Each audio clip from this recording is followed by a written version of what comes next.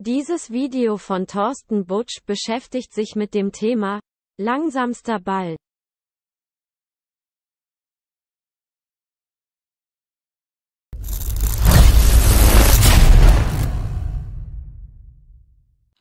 Hier geht es um den langsamsten Ball der Welt. Das Ganze ist eigentlich ein Schülerprank gewesen, also sprich, die Schüler haben mich reingelegt, aber die haben das auf eine so tolle und geistreiche Art gemacht, dass ich hier ein Video drüber mache und den entsprechenden Schülern für die geniale Idee ein Plus verpasst habe. Was haben sie gemacht? Die sollten einfach nur verschiedene Bälle mitbringen. Wir wollten in der Stunde die gleichmäßig beschleunigte Bewegung untersuchen. Das heißt, wir haben ganz einfach, die haben was unter die Tische drunter gelegt, damit die so ein bisschen schief stehen. Ich habe jetzt hier einfach eine Sperrholzplatte, wo ich hier so einen kleinen gelben Keil oder kleines gelbes Klötzchen drunter habe. Und warum nur so wenig geneigt? Naja, à la Galilei, der hatte ja das Problem, dass er ja gar keine Uhr, die Uhr war ja zu dem Zeitpunkt noch gar nicht erfunden. Und wenn ich das halt so eine schiefe Ebene habe, ist halt die Beschleunigung relativ gering. Das heißt, ich kann ohne großen technischen Schnickschnack ähm, ja eigentlich sehr gut Messergebnisse produzieren. Und dann habe ich die Schüler zu einem Tisch gerufen und gezeigt, hier wunderbar, hier haben wir unseren Ball und man sieht auch so schön, wie er immer schneller wird.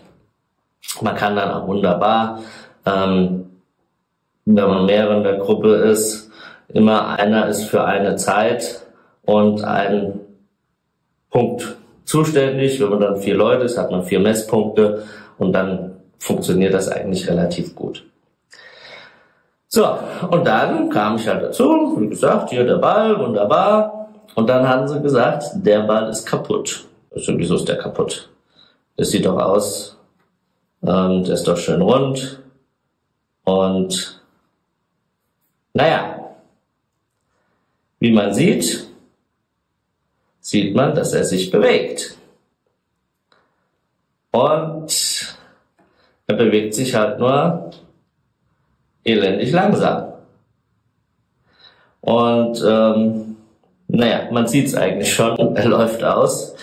Ich muss zugeben, ich habe es versucht nachzumachen, die Schüler haben es besser gemacht. Ich habe hier, man sieht das hier vielleicht, da ist mir der Ball eigentlich gerissen. Ich wollte hier nur ein kleines Loch drin haben und ich habe hier Melasse eingefügt. Melasse ist so ein zähflüssiges Zeug, äh, ist im Prinzip äh, Zucker und das ist der normale Ball und hier ist der sozusagen präparierte Ball.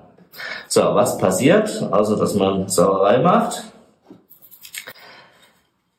Ich habe das mal versucht im 3D-Drucker nachzubauen. So sieht der Ball von innen aus. Und wenn ich das versuche hier runterrollen zu lassen, funktioniert es nicht. Warum nicht?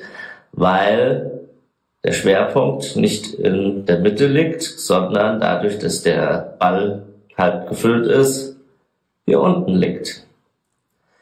Und dadurch kann das nicht herunterrollen. Der Unterschied zwischen dem 3D gedruckten Teil und dem Ball ist allerdings, wenn das Ding jetzt so ein Stückchen runter und so steht, bewegt sich die Melasse wieder so, so dass der Ball wieder ein Stückchen rollen kann. So lange bis die Melasse sich wieder sozusagen in den tiefsten Punkt des Balls bewegt hat und dann kann der Ball wieder ein Stückchen rollen. Und das ist im Prinzip das ganze Geheimnis. Also war eine sehr coole Geschichte. Soweit, so gut.